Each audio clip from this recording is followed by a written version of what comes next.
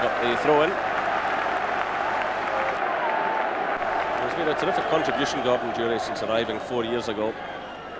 Tries to come into the team at just the right time for these uh, championship charges. Provides uh, vital goals. And here's Albertz trying one now. That is a superb strike. And that certainly ties it all up now. Hearts 1, Rangers 4. 79 minutes. What a strike right into the corner from George Albertz. His sixth goal of the season.